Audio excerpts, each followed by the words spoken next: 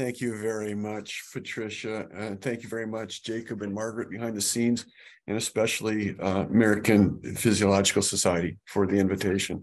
Um, I'm pleased to be here. Um, and um, I am an educator. Um, that's that's my passion. And I'm here not to tell you about any great breakthrough in theories of learning, and I'm not a physiological research, physiology researcher, so I'm not here to talk about that. What I'm here to talk about is how to teach well, and and really, not, nothing that you haven't seen, but to encourage you to use the tools that you have. Um, many times we feel that uh, for continuity's purpose, for ease's purpose, for ease purposes, um, for whatever reason, that we need to adopt a single source of teaching material and um, stick with it. And, and that's not the case at all. What we want to do is build courses, build instruction, and achieve goals for our students or have our students achieve goals that will help them meet their needs and meet their wishes, their needs. Um, and, and we do that best by finding what works um, in our circumstances. And so, what I want to do is encourage you, though the take home lesson up front is um, find resources that work best for you. Don't be afraid to use them, mix them up, and uh, take an a la carte approach to teaching. Um, and in this particular instance, um, we're using a particular tool from AD Instruments called LT to introduce physiology into what was um, what we thought was a, a, pretty good anatomy instructional course and melding the two by mixing um, them uh, with careful thought as to sequence and content uh, to make what we feel is is a um, is an efficient and um, valuable course for our students. So when whenever you start a course, you want to start with well the big picture, um, the big picture of where your course is in the curriculum, where your course is um, in the progress of your students and what you hope the students carry out of it. Um, and my course, the particular course that I'm talking about, is designed, was designed specifically for uh, the pre-nursing students. The students are preparing for applying to and starting their clinical training. So it's their basic sciences, anatomy and physiology. It's a two semester sequence. Um, and it has a separate lab uh, that we've actually added on uh, for the benefit of the pre-health professionals, those who are applying to physical therapy and physician assistant and so forth after school uh, that want the lab. Nurses didn't care for the lab. They had plenty of clinical training in lab work coming. Um, so that's our course. It's, it's uh, for most of the nursing students take it as second semester freshman, first semester sophomore and uh, then take the second semester and uh, go from there.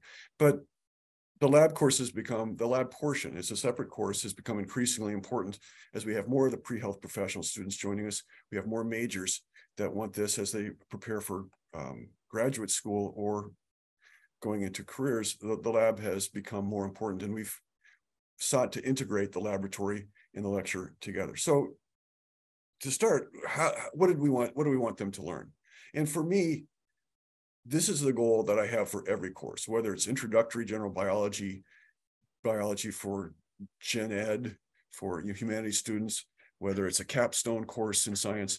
Uh, my main goal is always this, that I want students to understand what science is. Uh, this is important for us as scientists, and it's important for the average citizen. Uh, you can just look at the media today to see how poorly the general public understands science. And I feel guilty about that. So I keep that at the front. So I want my students to learn what are the assumptions of science? What, what do we believe is fundamentally true about the world that we take advantage of to, to do science? Uh, what do we hope to do with science, both practically and um, um, in the bigger picture as as as as just as understanding for the aesthetics and and the the knowledge. And what are our constraints? What is it that we cannot approach? Uh, and that's that's a fundamental thing. If i can get our students to understand that uh, i think um, they'll be much better citizens. However, you know, that that's pretty broad and, and that's not going to be clear. It's going to be hard to assess. So what we do then is, is we try to approach that by the more accessible scientific, what we call the scientific method, uh, whether stereotypical or in the way it's really applied. So I want them to really believe that they want to be careful observers. And I want them to understand that experimentation is a way to expand those observations and understand what they've seen. And then with the experimentation, probably the crux of all of it is to be good reasoners. What is what do those observations suggest to us? How do we test that idea? How do we um, see if if we can support that? Um, so that's that's what I'm hoping that we get. Now, if you're telling a freshman or sophomore student who is planning to be a nurse that this is what they're going to get out of the, the course, um, they're unlikely to embrace that wholeheartedly.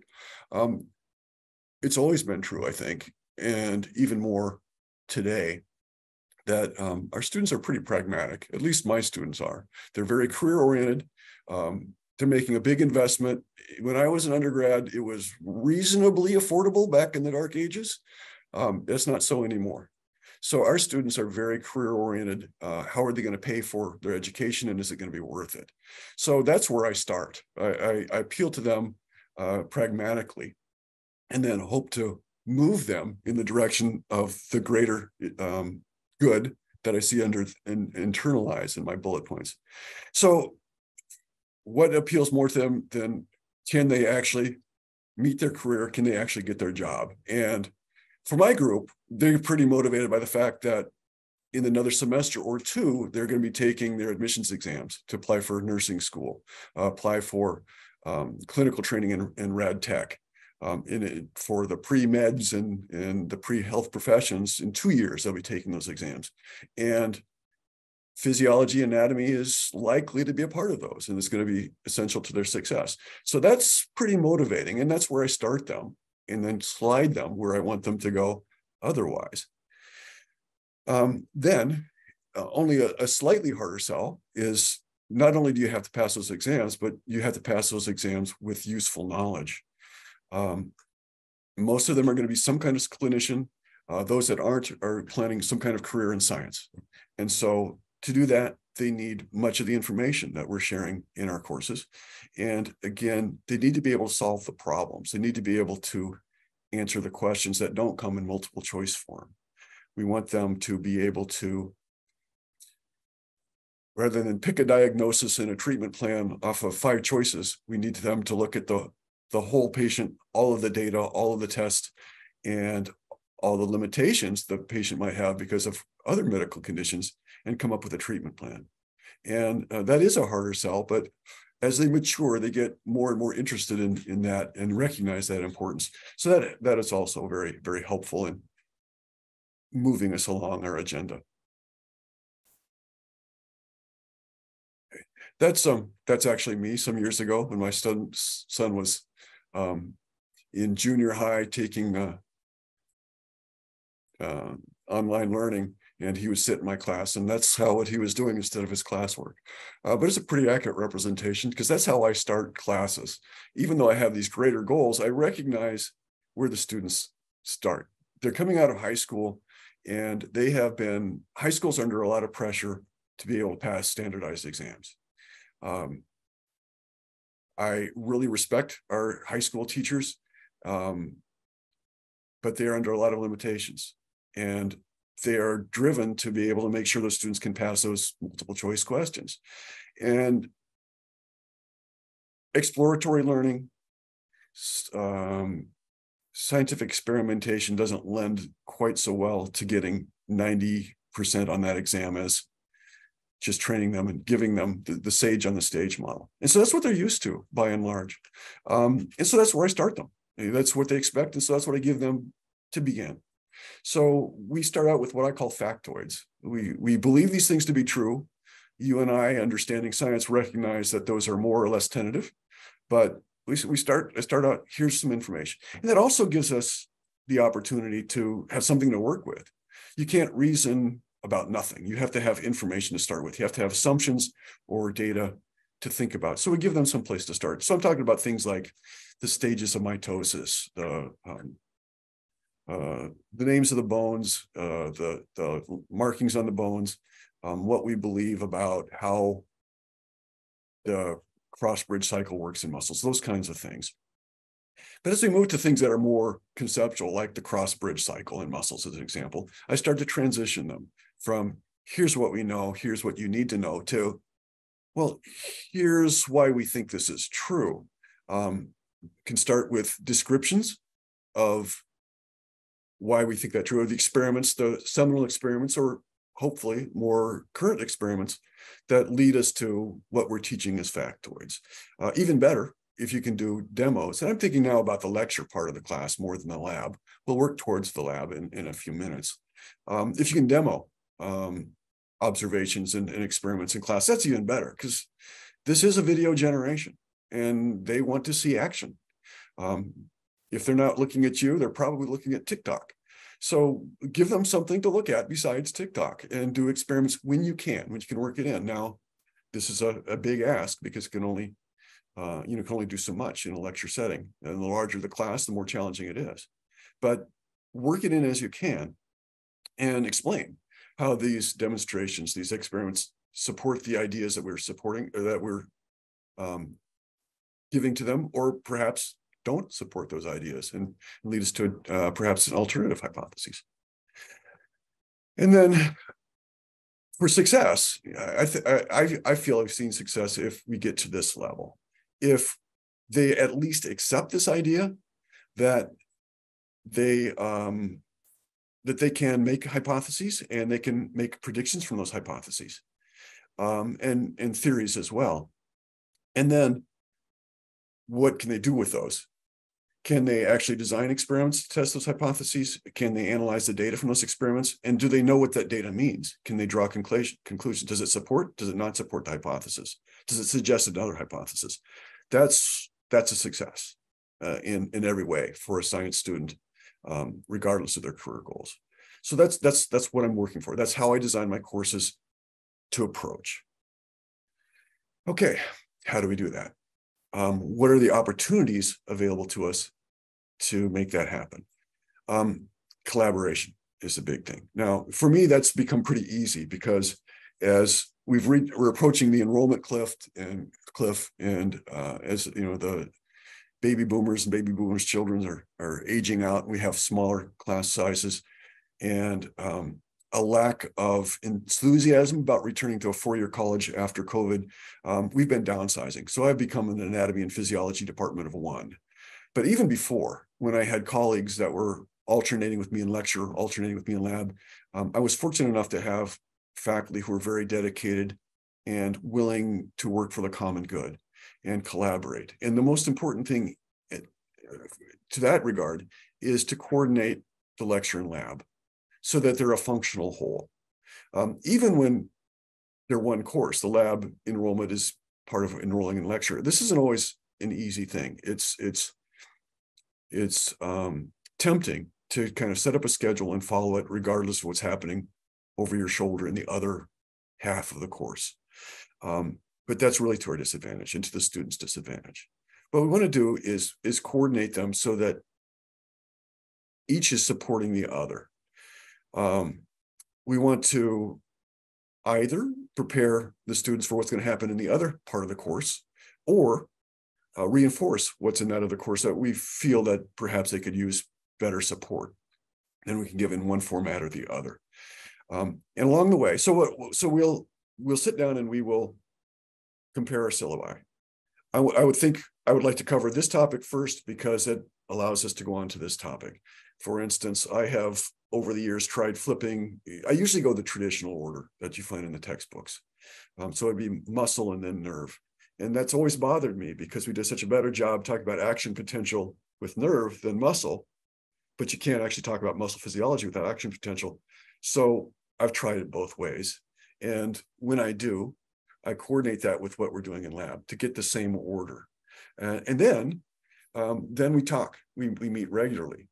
Um, how are they doing in, in lecture? When you covered action action potential, uh, how'd they do? Did they have a particular part that they were not understanding?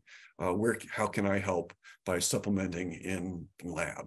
Um, so that too will, will make the course go better and make, help the students meet their goals. Um, now, we are teaching in two different ways typically. I think most of us do have a lab class and a lecture class that are um, both taught. And, and you want to take advantage of those different learning modalities. Um, lecture and discussion, I, I, I typically schedule labs so they follow or are concurrent with what's going on in lecture, preferably following just a little bit. Um, if they're getting that basic startup information, muscle structure, um, that reduces time you have to use in lab for the didactics, for explaining that again, the the the rote material, if you will. Um, I don't think that's what lab is for. Lab is an opportunity to get them get their hands dirty, and they're already getting talked to in lecture. So if I know what's happened in lecture, then and I know that they're succeeding with that, they're they're doing well with that. I just take that right out of the lab and go straight to the next part. Or at minimum, I'll just say, remember when, and this is what you did, and, and leave it at that. So use lecture to your advantage so that you can use lab for what it does best. And that's here. Um, lab, even the best lecturer um, can only do so much and, and push so many buttons. It's pretty well accepted that learning is best when it's multimodality. In lecture, you can, well, certainly here, um, they can see illustrations and um, pictures and words, uh, but they're not handling anything. They're not touching anything. They're not holding anything. They're not turning it over. And even the best computer animations can only do so much in substituting for that. Um, they're not actively involved, generally, uh, at least in a pure lecture. And, and all of that can reinforce what they're hearing and seeing um, as far as instructions. In, in my case, even smell triggers triggers memories. Uh, gross anatomy, all these years later, is still very vivid, and it's even more vivid when I open up that cadaver lab and I smell that smell again. And there are certain experiences, certain things I saw, uh, I learned in anatomy lab that come back first.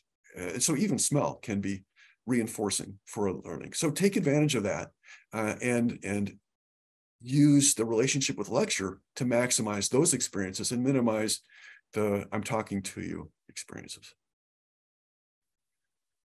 So the way we do it, and I've hinted at this already, start out with a didactic presentation. Start out with the factoids, start out with what they expect to hear and what they need to know to be able to enter and use a lab um, appropriately.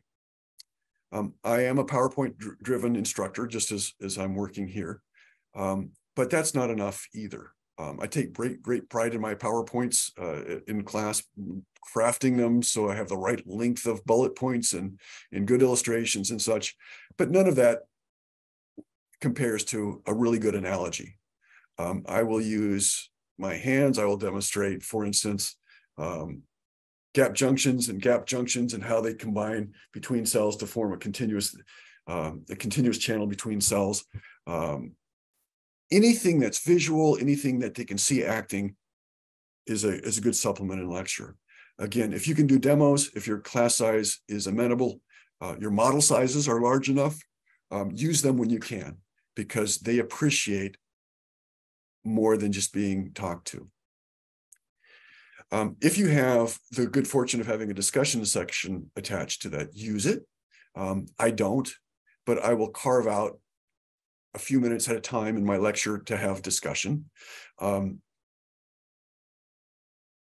I find that if you give students an opportunity to use the knowledge as they're collecting it, they will remember it better. Um, I will start them again with kind of the, the high school model of here's what you saw in the last four slides. Um, here's a structure for a table, put your information in there, organize your information so it's, it's a study guide for you.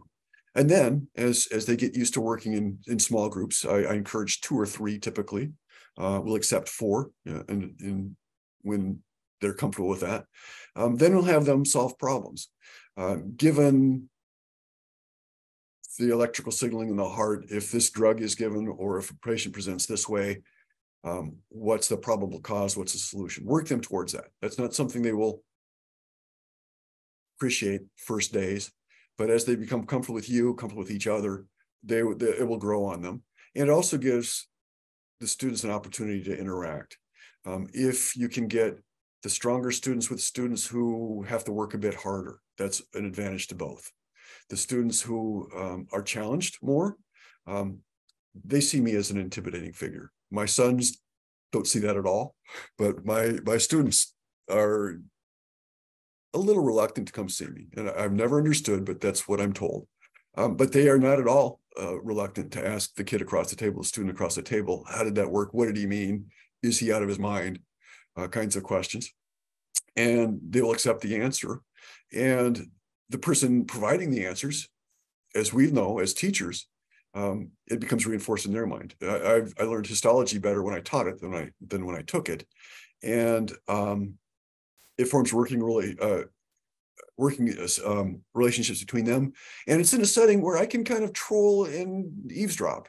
And if they're getting off track or perhaps misunderstood, I can gently intervene to get them back on course.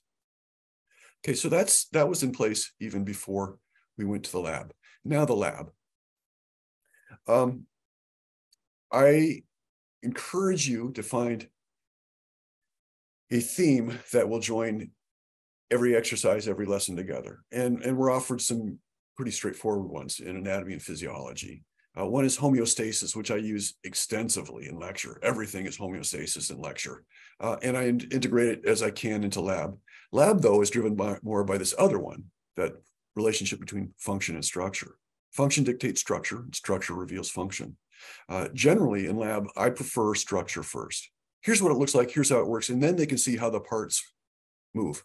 It's hard to imagine, for instance, how a car, to explain how a car works if they've never seen the pieces.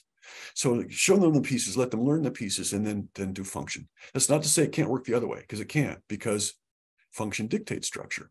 But that's that's worked for us for, for a long time. Um, I don't do anything innovative as far as, as order. I will go through much as most textbooks do, um, organ system by organ system. Uh, I don't do integument in lab much. I, I find there's little that I know of, perhaps you're different, but that I know of that's can add substantively to what they get in lecture, the pictures and, and such you see in the lectures. Microscope slides are almost pictures, and there's not a lot of experimental kind of work that I think is of particular value to, to justify that time. So I skip usually right to muscles and lab, but then I go in order. So that's, I guess that's part of my first, le- my main lesson is feel free to adapt. If you don't see particular value, if it doesn't work for your particular course's needs, your particular students, skip it or substitute it. Um, just because it's the first chapter in the lab manual doesn't mean you have to do it or use all of it. So structure first. Um, and here's where I'm saying to integrate. We are very happy with our, our lab instruction for anatomy. Uh, my mentor, when I came to Marian University, was an incredible anatomist, and she had put together a good course. Um, I, I'm a histologist more than an anatomist, so um, she allowed me to work in some of the histology that we thought would be helpful. And together we were pretty happy with the course we crafted. We team taught it for, for some time. Um, but it's, it's mostly traditional. Um, and we can use most lab manuals to make it work. Um, so we have models in our, our lab that we've been using for a long time. Uh, we have a good slides collection. Uh, and we have a regular budget that the chair is expecting every year for specimens and for dissections. So for the lab, when we brought in, integrated the, the physiology and the anatomy, we didn't do much different at all in the anatomy side. Uh, no new expense. We use what we have available. That's part two. Uh, use what you have to best advantage. You don't have to get something different to fit if you change lab manuals, you don't have to go out and buy all new models. Use a la carte approach. Use those portions of the lab manual that have worked well for you in the past, and those that haven't, modify them or substitute them. But for the anatomy side, um, that was essentially free because we had a system that worked and we weren't going to vary from it as we worked in stuff from outside from other sources. Function comes next. And this is the way I, I organize the labs. First, what's happening in lecture? And can I follow that right on the heels uh, of what's going on in lecture? Here's the structure. And then the next meeting is, is physiology for that same anatomy, for that same system. So it's fresh in their mind. What did we just see? Here's how we use it. First lab um, is going to be normal function, uh, regular ex expected uh, data collection. Uh, no surprises. They know what the ECG looks like from lecture. Let's see if they can find that for themselves. And they're, they're, they're learning the system. How does it work? How do I collect data? How do I interpret that data I collect? Then, and not all units will be amenable to this, but when they are, that's when you move to that mastery step, working towards that mastery. Um, if they learn how to use their physiograph, use a physiograph. Um, they've learned how to collect the data. They've learned where to place the sensors. What's a new question? How can you change your independent variable to make it work? So you can actually move on to that experimentation and scientific reasoning and even hypothesis building for many things. Uh, EMG is one that works well for ECG is another. Um, so you can break them in easily by offering them a new question that they generate a hypothesis for, or let them hit the ground running come up with a question that you can address the system with, or you can address with this system. Um, and then let them go. Let them design the experiments. Of course, you want to kind of watch over their shoulders to make sure they're going in the direction that's going to be fruitful, but but let them have autonomy and and build their chops as far as asking questions, devising hypothesis, answering with hypotheses, and devising experiments and collecting data and analyzing that. So the time came. Um, I was not at all happy with most of the physiology exercises that are done on the cheap in most commercial lab manuals. So we cast about for other systems. And we set the lab manual that we use for structure for anatomy aside. And we went looking for something that would work in our lab. And I would suggest for many of you, these same criteria may be helpful. Um, we were looking for something that's simple to learn and use. I'm a full-time teacher. Um, we're carrying overload now, again, because of the enrollment crunch. Um, many of you, if not full-time teachers, have plenty on your plate otherwise, in the lab or administrative duties or whatever. We're all busy. So I don't want to spend hours and days learning to use a new system, and certainly the students do. They have plenty of, of um, on their plate as well. Um, in my school, um, we are a private school, so we don't have state subsidies. Uh, we are uh, enrollment driven or tuition driven. Um, our students are, many of our students are first generation. Uh, many of our students are middle class or less. Um, and so they don't, if they're not in class, they're working to pay for their education or support their families. Many of them have families today. Uh, I'm not sure if I mentioned um, an enrollment strategy at my school is athletics. We have, other than football, almost every sport you can imagine, and continuing to find more to add to recruit students. Um, that's that's that drives enrollment for us. And so, on top of paying for their education, supporting their families, they've got practice and games, and now we're asking them to learn on top of that.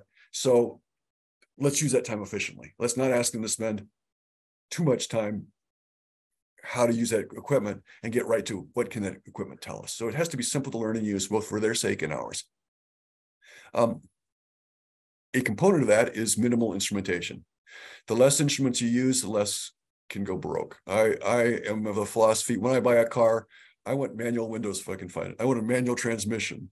Um, I want it as simple as possible so that there's less to break.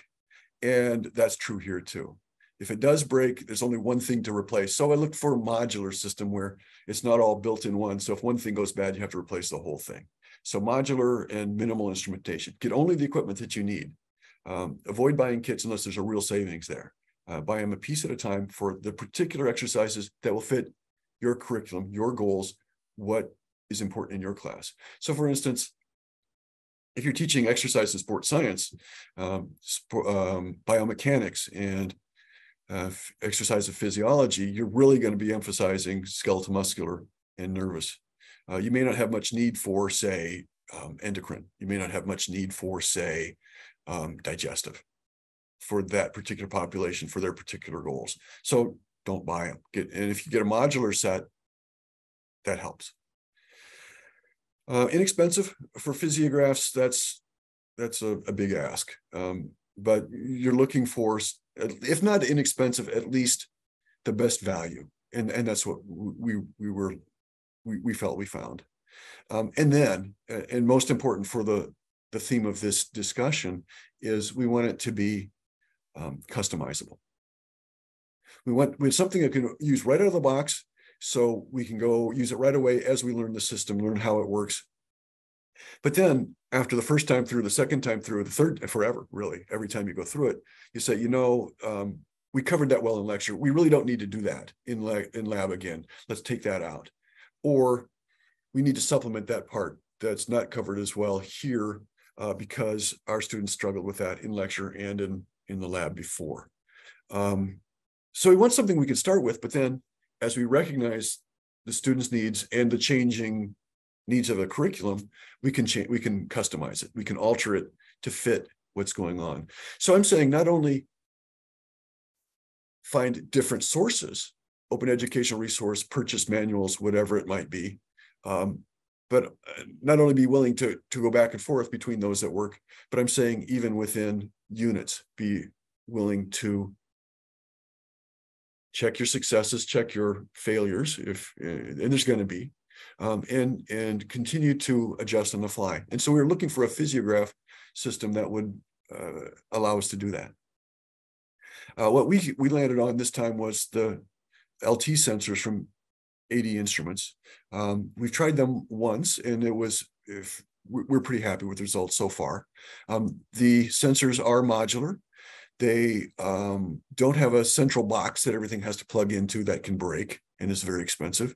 Uh, they plug right into a laptop. Um, it's hard to find students uh, who don't have laptops. And when we do, if there are students who don't have laptops available, we have loaners on hand. And so the sensors all have USB plugs. You put them, plug them right into the computer's port. Um, and then uh, we bought those sensors because they are a bit pricey. Um, and then the students subscribe to the software.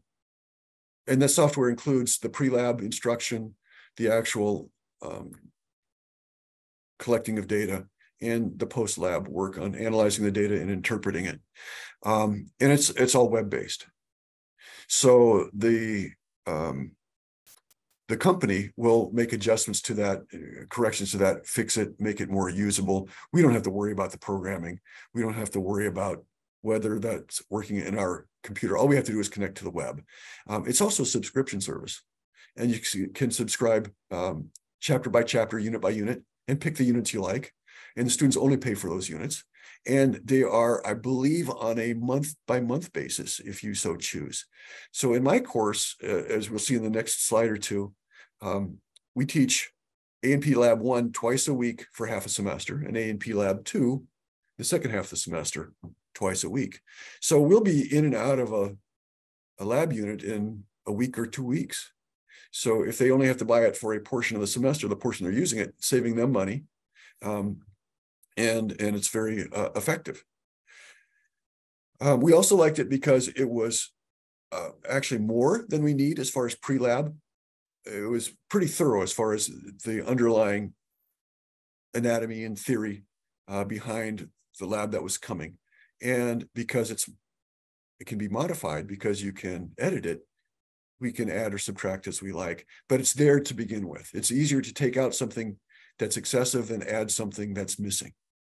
Uh, it also includes um, regular, routine, frequent student assessment, both in the pre-lab material, um, the post-lab material, and even while collecting the data. They will occasionally throw in uh, questions to check the understanding. And those those questions, they can either be strictly for the student's self-learning, or you can be um, for grading too. You can choose whether points are assigned or not, and whether you grade it or not. Uh, and then the um, actual data collection was pretty um, easy to use and uh, convenient. You don't have to have a separate lab manual. It's all built in. Uh, I, I, don't know if you can see on the slide, uh, on the picture uh, of this laptop, here's some of the sensors that we use. This uh, finger transducer, um, uh, a force transducer for um, palm strength, um, ECG leads here, I think. but here's the data collection window. Here's the data that's being recorded. And here's a scroll down window that would tell the student step by step what to do as they go through and learn it. So generally the first lab was cookbook. Follow these steps, collect this data, and, and will help you understand what it means. Then often you can have them propose their own questions, use some of the many of those same steps, but collect data in response to different challenges, different independent variables. And there are some labs that I find are just that would be nice to do be, be very instructive. The students would learn a lot, but they're just impractical. Uh, endocrinology is, is my personal um, best in that category. Uh, endocrinology labs are amazing. There's so much a student can learn from doing an endocrine lab. But we have no animal facility. We have no animal care and use committee. Um, and even if we, even when we did, even when I was at uh, uh another university where we had those things, an endocrinology lab usually means weeks of prep and uh, administration and data collection. And that's just not practical for an undergraduate introductory A&P lab. So there are uh, simulation labs available where they will show you what experiment could be done, what that those results might look like, and then allow them to do the data analysis. So that's an option here too with this system that you can, again, subscribe to on a module, use it if you want it. If you don't want it, don't need it, students don't have to pay for it. Um, so as, as I suggested, our labs are for a two semester lecture course, there's two semesters labs. Um, the example I have up here is from the second sem lab course, Anatomy and Phys 2, one credit, meet twice a week, and we go for just half a semester. And for the structure labs, I went to open resource. Uh, I actually used a different open resource for Anatomy and Phys 1 and Anatomy Phys 2. This is Anatomy Phys 2. It came from um, University System of Georgia. Uh, that one, I think we downloaded as PDF. And it was very traditional, very typical heart dissection, for example. And so we got them their structure first.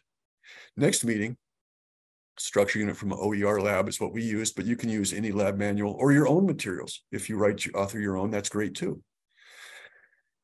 Then the next meeting, whether it's the next uh, class that week or the next week, we'd go to the physiograph. Um, and again, you can pick modules to fit together for pre-lab and the actual lab exercises. Uh, this is an example of the one we used. Um, ECG basics on the way to an ECG and exercise lab. This is pre-lab. Um, this is the material um, that they would use on lab day when they're being introduced to the equipment. These are instructions on how to actually put the ECG leads on and then start to how to collect the data. And then we had um, post-lab analysis and um, post-lab assessment. Uh, these labs, because they're, they're web-based, you can also do pre-lab and post-lab outside of class time. And certainly pre-lab, I did that. Post-lab, I did, depending on how much time we had available to us.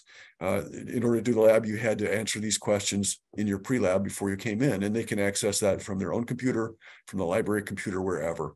Uh, so that also can make your lab time more uh, accessible. Uh, and so we're pretty happy with, with how it turned out. We took a tried and true set of labs that we could pick whatever lab manual fit best and that we would either customize or, well, we would customize to fit the models we have on hand, the budget we have for, for specimens and dissection, and uh, just our lab space.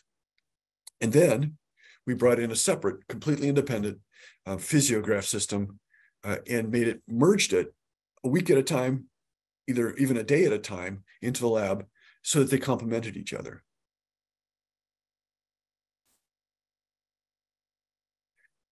So our goals was were to coordinate the lecture in the lab and to maximize our course goals that the students would learn anatomical structure, they would understand physiological concepts, and then they would understand why do we hold those physiological concepts? Why do we believe them to be true? And to be able to practice those skills that allow us to understand the world around us, including physiology. Um, we did that by making sure we coordinated our lectures in our labs, and we centralized this particular theme of structure and function, um, certainly in lab and in large part in lecture two. I would talk about, I would, in lecture, we would give them an overview of function, then go into detail and structure, and then go back and show how function derived from that structure. So we use the same general theming and um, organization in both lecture and lab. Um, then we took what we already have that we're pleased with, our anatomy labs, and integrated them and alternated them with a physiology set. And we use this particular one. There are others on the market that you can consider, but we're pretty happy with this one. Um, and it's really helpful if you can buy one that's packaged to use off the shelf, but then you can fix it, adjust, not fix it, but adjust it to your needs and your facilities and your students' goals as you go along. Um, result we were looking for and feel that we mostly got uh, is, is the students would learn their organ system structure first. Then when they learned the physiology, with their own data that would reinforce the structure we talked about before. Why did that happen? Well, because it's built this way.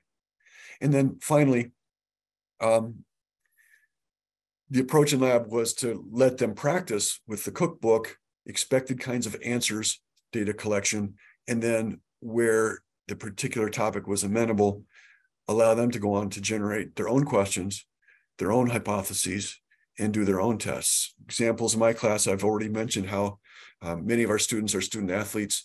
Um, they like questions like, how do energy drinks uh, uh affect performance of exercise? How does that reflected in ECG or respiration? Those kinds of things. They like exercise, but there's lots of possibilities depending on the group, and let them explore that as much as you can. And that's where you just take your hands off the reins.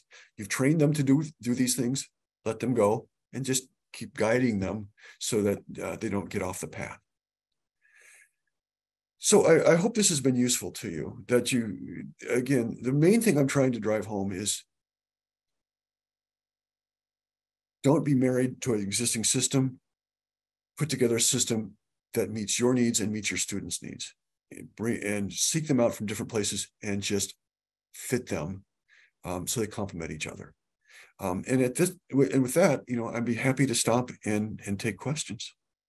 Dr. Urven, thank you so much for your presentation. I really like the uh, artwork that you shared, that your son shared with you. Uh, very creative depiction of how you looked when you had longer hair, right? I did. Uh, I, I I always wait five years to make sure a fashion is going to set. So it was five years after mullets were popular. Yes, that was very nice. And it, it really is interesting how professors today have many more competing distractions than, of course, we had when I was in college. So yeah, thank you for sharing that. And before we get into the Q&A, we have one uh, poll that we want to launch. All right. Okay, we have that taken care of. Now let's go ahead and move into the Q&A portion. We have quite a few questions. So I'm going to start with Donald Shaw. Dr. Urven, what did you mean multimodality in lecture is the best? And this is a two-part question. Can you give an example on this idea? And this is from Donald Shaw. So multimodal, what I mean by that is don't just just talk to them. I mean, engage as many of their senses as they can because they are mutually reinforcing. Um, so, for instance, um, when we talk about in lecture, when we talk about um, pleural pressure and uh, the breathing cycle, respiratory cycle. Um, you typically see in textbooks, you'll see um, uh, a, a, bag and someone will stick a fist into the bag uh, to represent the lungs in the pleural cavity surrounded by the pleural membranes. Uh, I'll do that. I will go, uh, I'll go grab the garbage can. Um, hopefully one that's not been used. I have a lot of morning classes. I'll pull out the plastic bag. I will fill it with air, tie it off, and I'll stick my fist in it. So they're seeing it, they're hearing it um, as we talk about it. So they're they're seeing, hearing. Um, it's three dimensional. Um, so that's what I mean by different senses at a time. Um, if the class is small enough, uh, when we do skeletal anatomy, I'll throw bone models at each table and, and let them handle them, touch them, um, as well as we're looking at the diagrams on the on the on the screen. Um, did I get all of those, Patricia? Did I miss part of the question? Yes, nope, you, you covered everything. And so Tabinda Azam would like to know how much time should be dedicated to discussion in a 75 minute lecture? oh, um, I think I think we all have our own answers to that, um, and it's always a challenge, isn't it? Because you know, with with my group and and probably many of our groups, um, they are very driven. We we don't we haven't lost that incentive to deliver as many factoids as much information in as short a time as we can, and I am a horrible victim of that temptation. Um, I, I, is probably as you can tell from this, I, I like to talk and, and I'm reluctant to step off the stage, uh, but the students really need that. So in 70, I don't know. I mean, and it also depends on the topic. I mean, if the more the students can explore and learn for themselves, the better they're going to know. So you want to give them the tools and then let them go. You know, if I, I teach in 50 minute bites, and generally in lecture, I will stop maybe twice and I'll give them two or three or four minutes for that group discussion, group work, answer these easy questions or answer these thought questions um, where, where um, I circulate around the room. So five or 10 minutes out of 50 would be what?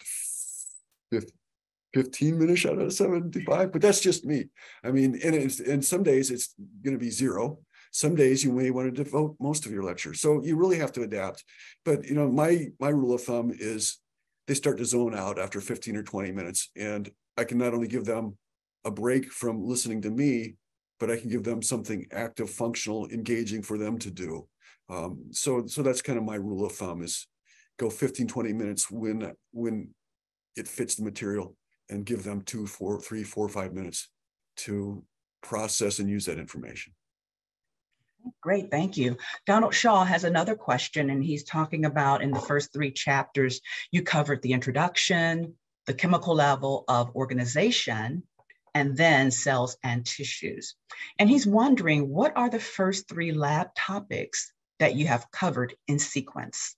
Yeah, and that's that's a part where I de- that's a place where I depart a little bit from my own advice. It's it's really hard to get the two up and running together. Um, so for lab, um, I generally go right to, well, our students have had a general biology class before anatomy and phys, but we spend very little microscope time in there. So I give them a lab on using the microscope and on histology is the first two. And then we go to muscle. And that mostly coincides with the way we're going in lab, uh, the way we structured in lab too. Okay, let's go to George Steer. What exactly does the system measure? Um, the system, you're referring to the physiograph, I, I assume? Um, Let's assume that. George, if you want to uh, confirm that, please do. Okay. So the, the, if, if we're talking about the physiograph, that's that's the one that's modular and you can choose what you like. And so for us, we um, we did we did dedicate a lab period to just learning the system, and they had uh, a pulse uh, a pulse transducer uh, and a a clicker to to do some very simple um, uh, data collection, uh, just so they learn where the buttons are and such. And then um, we used uh, an ECG system. So we collected electrocardiograph. Um, first, the first semester, the first course, we do mostly muscle. That's where the bulk of our lab work is. So we did electromyography there. So we measured measured electrical activity of muscles. Um, Second semester, we did the simulation uh, for endocrinology. We did, uh, that's where, the, where we did the ECG in the second semester. And this, the system that we used, uh, the ADInstruments, LT sensors, I'll give you a couple of ways to do respiratory.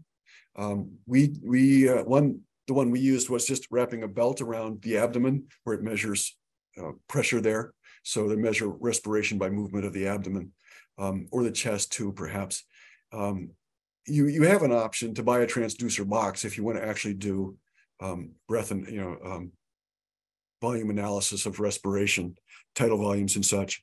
Uh, but you know, my my philosophy was didn't want that darn box. Um, I preferred the modular um, sensors. So that was that that was a sensor for the pressure for the belt, um, and I think that's that's what we used. We had like five sensors measure five different things, including the clicking instrument to you know measure reflexes and those kinds of things.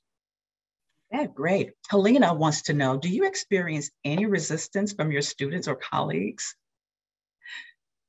Um, well, uh, when we went to the physiograph system, there was an extended discussion um, with my dean of faculty and my vice president of academic administration for that upfront um, expenditure. Um, but we, they, they understood the value and they understand our students that many of them are um, looking for health careers, and that would be valuable for them. Um, so, I mean, I guess that's the one thing because it, it, that portion, that upfront cost, was was a little bit more than you know some of our faculty have been uh, allowed to spend on a routine basis. Um, but most of them was, you know, well, yeah, it's physiology. Um, the students have been, I, I think my my approach worked pretty well with the students most of the time. You're always going to have outliers, but they really are convinced by you're going to have to take that exam, and this is going to help you pass that exam to get to be a fill in the blank nurse. Um, uh, we also have you know a, a, student population here that's pretty they're pretty courteous uh, compared to some some institutions I've been in. Um, if there's pushback, it's not been directly to me. It's been grumbling in the hallway, but I haven't heard it much. So yeah, we've been pretty fortunate with that regard. But um, I guess that would be the main thing is, is the upfront instrumentation cost when we brought the physio lab, physiology labs in. But as far as curriculum planning, um, I've been, as I said, I've been fortunate with colleagues uh, when I have had help with the anatomy phys sequence. Um, they've all been very much on the side of how can we do a better job and, and we've worked together well. So uh, part of that is just circumstance. I've just been lucky but it's something you can cultivate too if you have resistant faculty. Gradual and persistence um, often often is uh, the way to go. Okay and we have uh, one more or two more questions and uh, george steer wants to know. He says tidal volume and such does that it is possible for a forced vital capacity, which would require a mouthpiece and flow meter? Yeah, yeah, that that's the one that we chose not to go with because it did require extra equipment besides you know the just the the sensor itself. Uh, the mouthpieces, when I've done it in the past, um, we just use disposable um, paper tubes for that. Um, so so it is possible, and AD instruments can can accommodate that. So can other companies. So it, it is possible, but it was our choice to go with a uh, a simpler, not as precise uh, means of measurement, which we thought would make the point at the introductory level and met our needs. So it, it was you know measuring our facilities and our budget and, and making a decision, and that was our choice. Okay, we have two more questions and then we'll close it up. And George also says, thank you for your presentation and answers. You have a lot of thank yous and comments in the chat portion too, and we'll share that with you. Let's go back to the anonymous attendee and, let me go to the second part of the question, which I, I think has to do with the physiograph system. Can you please get to what this, the physiograph system can deliver and how to integrate the system into physiology classes for those of us who do not have wet labs? Okay, well, I mean, you don't need much by way of what really what you need for this is just desk, desktop space and a laptop. Um, so you have a laptop with an internet connection, whether it's Wi-Fi or whatever, um, and the students log in. They have their own accounts through the company. Um, they log in and they choose the lesson that's up to date, and they simply plug in their sensors and each sensor measures a different thing. And, and um, I may have mentioned that we used um, uh, a pulse, uh, a pulse transducer for the fingertip pulse, um, an ECG apparatus, which you also use for uh, not just electrocardiographs, but electromyographs we use for both. It was essentially the same equipment. It's just putting on different parts of the body. Um, and we had simply um, a belt uh, uh, attached to a wire that would plug in that we used for that uh, measuring the um, abdominal um, abdominal circumference when we did the respiration. And that was that was six labs, and then five or six labs. And then we also had they also will deliver simulations where all you need is a laptop, and they will provide you with here's how it would have been set up, here's the kind of data you would have collected, and do some analysis. Uh, and they also will do the analysis for you. Say, you know, make this um, do this tra- uh, mathematical transformation and just click a button and it will do that for you also. I, I, hope that's what you're looking for, George. Okay, and we have one more question, which is a three-part question, and we're at 12.02. We will finalize uh, the webinar soon, so thank you for those of, of you who will continue to stay with us. Um, Adel Fatah Noir wants to know, do you make your PowerPoint presentations up for your lectures available to students before coming to class? That's a, that's a great question, and I discuss it all the time with my colleagues because we all have different feelings about it. My view is, um, well, I, I harvest a lot from the from the internet as far as illustrations go. I'm not real happy with the particular textbook I use with their illustrations. So I harvest a lot, and I am really unsure about copyright. So um, I believe I have right to use them, um, you know, as as educational. Um, education, but I, am certain I'm not at all certain I have right to let students be printing them out. So my my approach is kind of halfway. What I will do is I will um, put my PowerPoints into outline, um, save it as outline, uh, or RTF, save it save it as RTF, and then I will go back and reformat them to so all it shows is the bullet points. Mm-hmm. I will add in the links for the UR for the illustrations I use so they can go look them up themselves. So we're not violating any copyright, just telling them, here's the slide, here's what we talked about. Click on the link to see the illustration we used. And then when I reformat them, I separate each bullet point so that they can take notes right in there. So I encourage the students to print out, I call them the slide transcripts, print out the slide transcripts, bring them to class.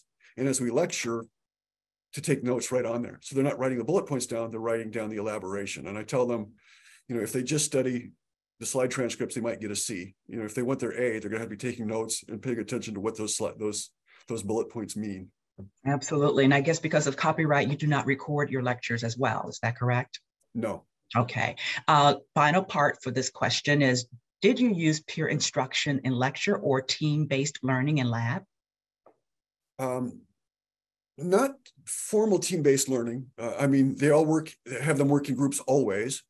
Um, so, but I don't formalize it and give them training in that. And that's probably, that's really a good idea. I should, I should follow up on that. Um, uh, peer instruction is something um, we have been advocating for as a department for some time, and it looks like it's going to happen. Um, the the administration has agreed to allow us to bring students in uh, to um, sit in on classes and to be available for tutoring and for helping with that group work that we do uh, at a time to time. So uh, we recognize its value. Uh, we have for some time, and it looks like we're actually going to make some progress on that point. Um, okay. So that's another place where I'm anxious to learn more about and, and to implement. Great. I said that would be the final one, but we have Sashri. Uh, he's really excited about your uh, presentation, but he, he wants to know, would you encourage students to just study the PowerPoints or also read the textbook as well? Okay, well, encouraging and actually getting response is entirely different. Um, the, the advice I give, which the high performers will follow and not everybody else will, um, I tell them at minimum, please at least skim the, the, the text reading in, in anticipation and look at the, the illustrations they do have, then take lecture notes and then go back and if they can't at least read, if they can't read in depth, to at least go back to those parts of the text that they felt um, didn't, that I didn't do as good a job explaining as, as they needed. Um, so that's kind of the minimal. I would really love them to read before and after, but as a realist, I recognize that only happens in rare instances. But you know, the minimum is, is skim it, lecture notes and study those lecture notes and if they're serious about that, they can do pretty well on my exams with just that. Okay, great. Well, that's going to conclude our Q&A session. And we do have maybe one or three uh, questions, uh, Dr. Urven, that we will submit to you. But we're also going to provide your information in the chat. So if you want to send uh, more questions to Dr. Urven directly, uh, Jacob has put that information in the chat. Uh, email is lurven, L-U-R-V-E-N at marianuniversity.edu. And the website they can go to is www.marianuniversity.edu. So we are about out of time. And Dr. Urven, thank you for your presentation. Oh, it's my pleasure. Thank you yes. also, Patricia and Jacob and Margaret behind the scenes. And thank you, uh, American Physiological Society and ADInstruments. Uh, I was very grateful. Well, you just said everything that I was going to say. And I just want to add that we want to thank our wonderful attendees for your time and for joining us today. Thank you so much.